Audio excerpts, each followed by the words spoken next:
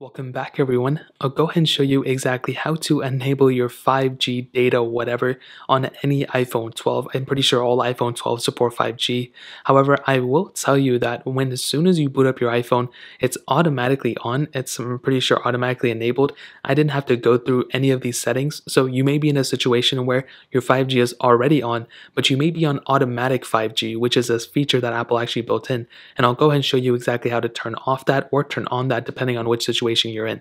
Now 5G right now is pretty much like still in the works. It's nothing like too crazy. There's some places where I think it's supported and you can actually use 5G, but I think for like a bunch of people out there, it's not really relevant until a couple of years from now. But in order to actually utilize it, what you want to do is make sure you have a SIM card installed into your iPhone. And I'm pretty sure, like I said, the 12 Pro, 12, these are all supported. You want to make your way into your settings app, just like this.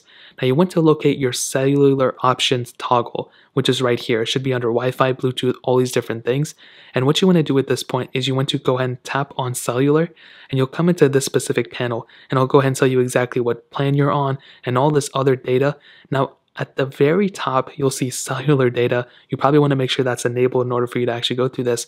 But then you'll see cellular data options, which is great. And what you want to do here is you want to click on cellular data options and you'll come into this little panel. Now you can go ahead and assume if you want data roaming on or off, that's not relevant. But right here where it says voice and data, it says 5G auto. So what that means is this is automatically enabled by default. As soon as I put on my iPhone, it was like this when I just checked it. This means that it'll automatically and dynamically switch from 5G to LTE up until 5G again if you wanted to in order for it to save battery. So it's an automatic thing. If 5G is there, it's going to use it. If not, then it's going to go back to LTE. And in this case, I think it's great and I'll probably end up keeping it on this. But if you're somebody for voice and data specifically, if you want to go ahead and beyond the setting, you can go and do it. But if you want to rather use LTE, you can go ahead and click on the LTE option here in order to use that. But if you want 5G to be on all the time, whether you're using it or not, basically, whether if you're using LTE or whatever, it'll automatically always be searching for 5G and using it whenever it can.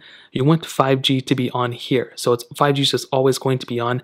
I would probably recommend using 5G auto if you have an 11 Pro Max that has better battery life that may be less an option. But like I said, I mean, right now, there's not a lot of places that support 5G. So even keeping LTE on currently is perfectly fine. But that, that those are pretty much the differences. LTE is basically 4G. 5G automatic is switching from 5G to LTE whenever it needs it or switching it on and off for the most part. And then 5G on is just 5G on all the time. Now, if you go back, you can see data mode right here. You can go and click on it and this basically just explains a little bit more like, okay, you want to allow the most amount of data you can use it with 5G if you want, you know, the standard rates and all that stuff and the standardness. And you can go ahead and click the standard option. If you want low data mode, which is basically going to use the least amount of data to preserve data.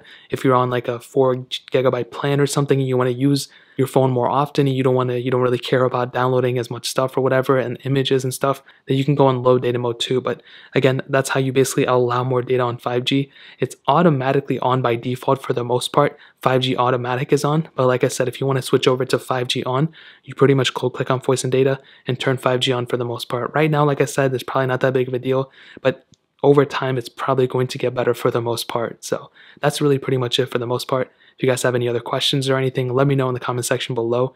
Hit the like button, that'll mean so much, but definitely hit that subscribe button. Every single subscriber that we get really does count, so it means so much if you guys can hit that. Also, check out the other links down in the description as well. My Twitter, my Instagram, my other channels. More importantly everything else, every single one of you guys. Hopefully I'll catch you guys in the next video. Peace out till then.